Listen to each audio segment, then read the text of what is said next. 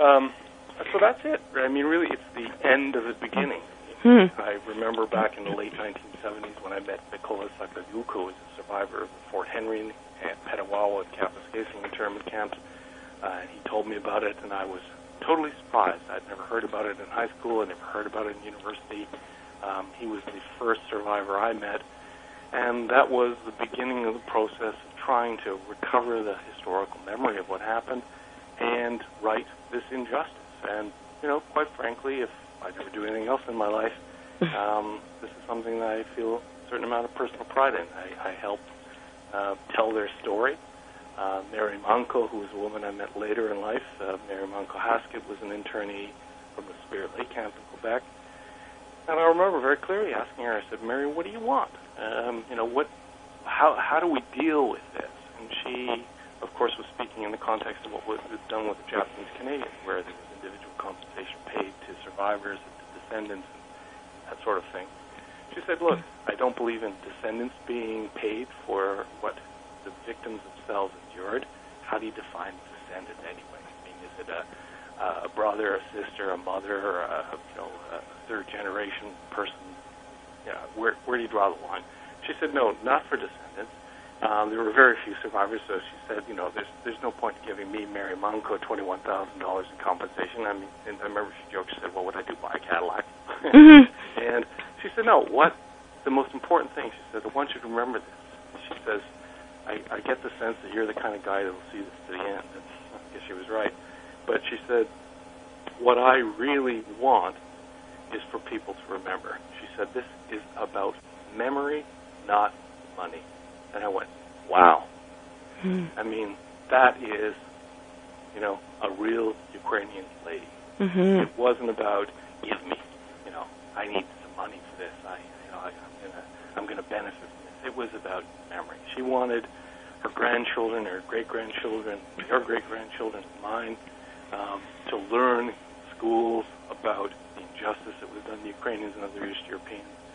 Uh, she wanted people to reflect on that experience. She wanted people to create art, theater, plays, poetry. She wanted people to sort of not celebrate it, but commemorate it and remember so that perhaps in some future period of domestic or international crisis, the same unfortunate behavior on the part of the Canadian state won't occur. And hats off to her. I mean, she's long gone. Vichina Pamya to her and, and all the others. Can you think of some examples? Um, you, you just mentioned a, a, few that Mary had suggested, but can you um, some specifics that you would like to how you would like to see this fund spent?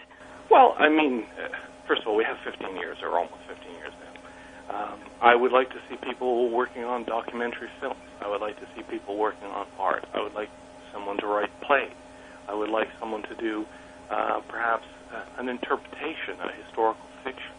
I would like people to I would like people to use their imaginations and try because the archival evidence is there's bits and pieces of it. As I say, my friend Bohdan Kordan has done quite a bit of archival research, but many of the archives were destroyed. So we'll never be able to sort of tell the full story. Uh, and even if we were, that would always be told through the eyes of an academic. And academics like myself tend to be very boring. Um, I, I would like to see people use their creative skills.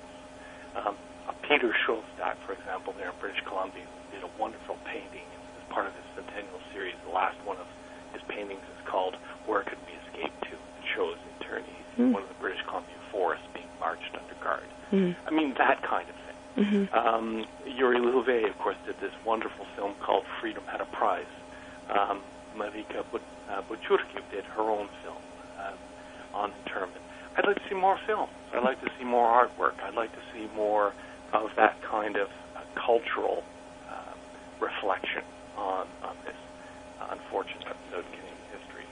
I mean, in time, I suppose we will uh, fund academic projects as well. Uh, there is, I, I can tell your listeners, uh, one particularly good bit of news. Cave and Basin in Banff National Park was the heart, jewel in the crown of the national park system, and of course, in recent years, it's kind of faded away. Um, just this past week, Parks Canada, uh, the government of Canada, uh, announced 14, almost 14 million dollars for renovation of the Cave and Basin site. And I think that includes the 2.5 million dollars that's going to be used to put up a reproduction of an internee barrack. So there'll be a kind of a museum at Cave and Basin dedicated to the internment experience.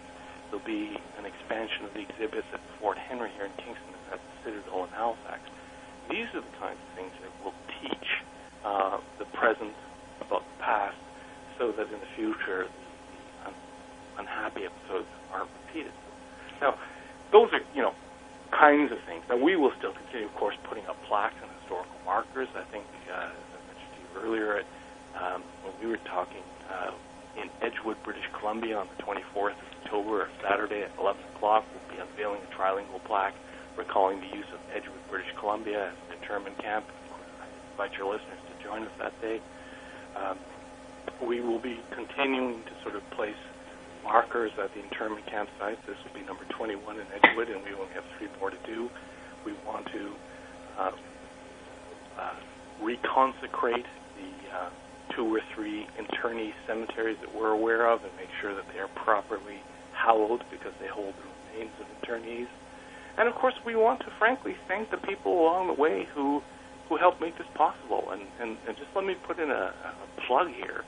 Um, you know, there have been members of parliament in every political party. So your listeners can be New Democrats, they can be conservatives, they can be liberals, they can be Green Party advocates, whatever they want.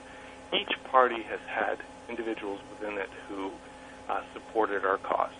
Uh, I think of Walter Lastewka, Boris Wrzesnewskyj among the liberals, Senator Andreychuk as, as a conservative and as a senator.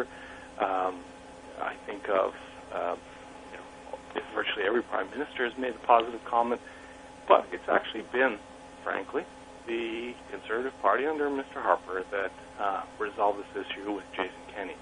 And within that party, the amazing is that it wasn't a Canadian MP of Ukrainian heritage that took the leading role.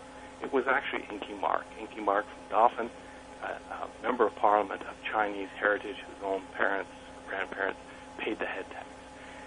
Isn't it remarkable that we live in a country where a Chinese Canadian became the standard bearer for a Ukrainian Canadian cause and whose bill C331 uh, resulted in really the negotiations that led to a settlement. I wow, think what a country. I agree. I agree. Yeah, that's cr- that's just you know every time I say that I just go wow. And we as a community have not properly thanked Inky Mark. So I would encourage your listeners because Inky's retiring from Parliament. Uh, he won't be running again in whenever the next election is. Let's, let's all hope it's not soon. But uh, he won't be running again. He's retiring from Parliament. So if your listeners want to really do something well, uh, well deserved, pick up a pen, pick up a piece of paper, write Inky Mark a letter. You put OHMS on Her Majesty's Service on the upper right-hand corner of the envelope. You don't even have to put a stamp on it. Send it to Inky Mark MP, House of Commons, Ottawa, Ontario, K1A 0A6, and just say, thank you, Inky Mark, because he deserves it. Folks, if we don't do this, you know, we don't deserve. Well, and at, on that note, Lubomyr, I'd like to thank you very much for your work, for your incredible work, your your tenacity and steadfastness in, in getting it through this. And I am glad that there's you'll still be involved. This is kind of not, as you said, the end, um, and we will be seeing more and hearing more from you in the future. My pleasure. Thanks very much. Bye bye.